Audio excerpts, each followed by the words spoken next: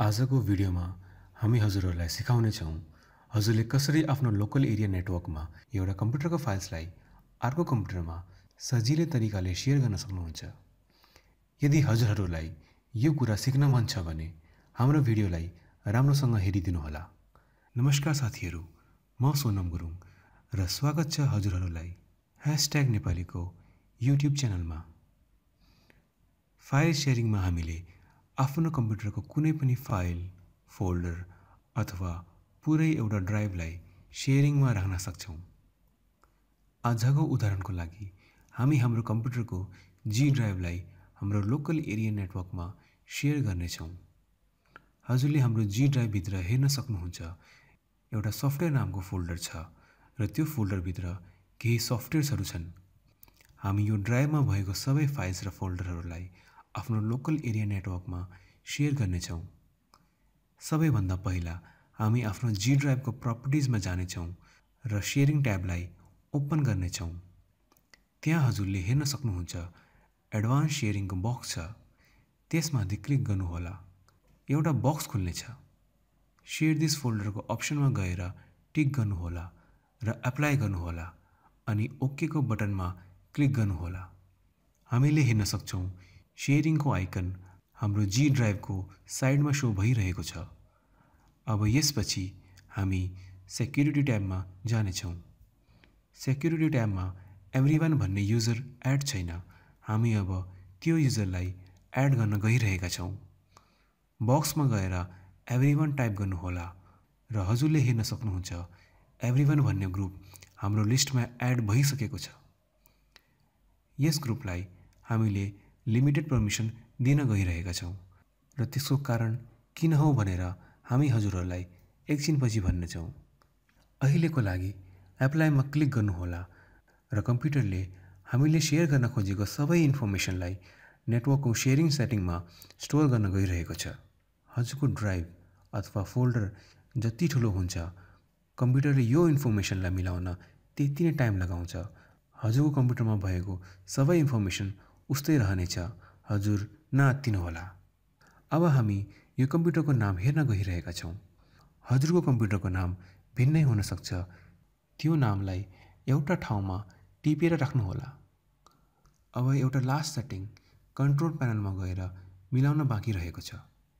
Network and इन्टरनेटको ट्याबमा click गर्नुहोला र त्यसभित्र नेटवर्क एन्ड सेयरिङ सेन्टरमा जानुहोला बायाँतिर चेन्ज एडभान्स सेयरिङ सेटिङलाई ओपन गर्नुहोला हजुरले यहाँ देखाएको ट्याबमा हामीले जे सेटिङ राख्नेछौँ हजुरले पनि त्यही सेटिङ्सहरू राख्नुहोला सबैभन्दा पहिला प्राइभेट प्रोफाइलमा नेटवर्क डिस्कभरीको अप्सनलाई अन गर्न अनिवार्य हुन्छ। यसमा हजुरले आफ्नो कम्प्युटरलाई लोकल एरिया नेटवर्कमा सो गर्ने पर्मिसन दिँदै हुनुहुन्छ। फाइल एन्ड प्रिन्टर सेयरिङलाई पनि अन गर्नुहोला हजुरले यहाँ जे अप्सन राख्नुहुन्छ हजुरले आफ्नो नेटवर्कमा भएको सबै कम्प्युटरमा यही अप्सनहरू राख्नुपर्ने हुन्छ। गेस्ट र पब्लिक प्रोफाइलमा हजुरले आफ्नो नेटवर्क अनुसार सेटिङलाई अन अफ राख्नुहोला। यदि हजुरलाई आफ्नो नेटवर्कभन्दा बाहिरको मान्छेमा विश्वास छैन भने यसलाई अफ नै राख्नुहोला।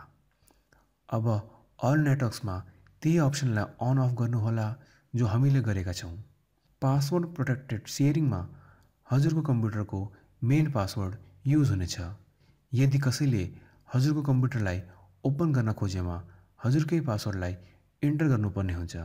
हामीले सेक्युरिटी रिजनको लागि पासवर्डको सेटिङलाई अन राख्नेछौँ।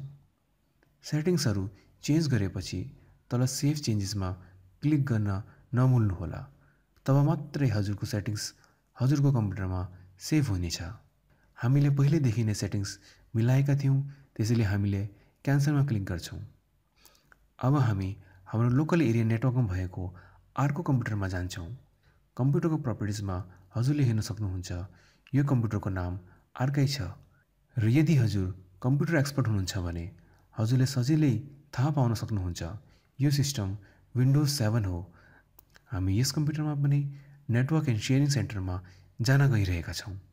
र हामीले त्यही सेटिङ राख्नेछौँ। जुन सेटिङ हामीले पहिलेको कम्प्युटरमा राखेका थियौँ। किबोर्डबाट विन्डोज र आर बटन अठाउनुहोस्। रन कमान्ड ओपन हुनेछ र त्यहाँ दुईवटा ब्याक स्ल्यासपछि अघि टिपेको नामलाई यहाँ टाइप गर्नुहोला। युजर नेमको ठाउँमा हजुरले आफ्नो कम्प्युटरको युजर नेम लेख्नुहोला र पासवर्डको बक्समा आफ्नो पासवर्ड टाइप गर्नुहोला।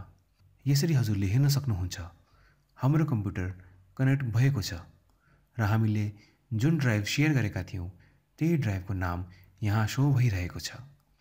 यति मात्र होइन त्यो ड्राइभभित्र जति पनि फाइल्स र फोल्डर्सहरू थियो त्यो सबै हामीले खोलेर हेर्न सक्छौँ र साथै हामीले यी फाइल्स र फोल्डरहरूलाई आफ्नो कम्प्युटरमा पनि कपी पेस्ट गर्न सक्छौँ। उदाहरणको लागि हामी भिएलसी प्लेयरलाई कपी गर्न गइरहेका छौँ। हजुरले हेर्न सक्नुहुन्छ कति सजिलै हाम्रो फाइल कपी पेस्ट भइसकेको छ। तर एउटा क्वेसन छ के हामी हाम्रो मेन कम्प्युटरमा भएको फाइल्सहरूलाई डिलिट गर्न सक्छौँ त? हामीले ड्राइभ सेयर गर्ने बेलामा जुन सेटिङ अन राखेका थियौँ हामीले त्यही काम मात्रै गर्न सक्छौँ।